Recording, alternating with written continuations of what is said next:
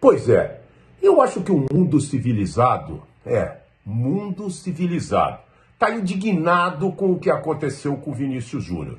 E o jogador brasileiro resolveu chutar o balde e fazer valer os seus direitos.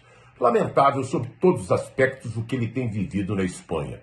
E ainda vem esse presidente de La Liga para confrontar com ele, para duvidar o seu sentimento, a sua injustiça com que ele tem sofrido.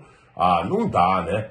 Não sei não se essa decisão do presidente do Real Madrid em denunciar o fato para o Ministério Público Espanhol, ela é sincera ou só está jogando para a torcida.